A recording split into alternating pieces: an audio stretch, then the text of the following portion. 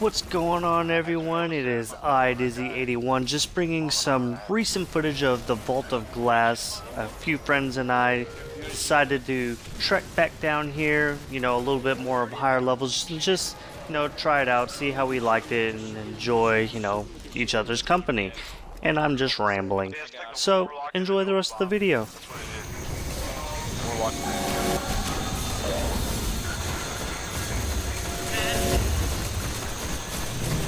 Anybody get that previous uh, Oracle?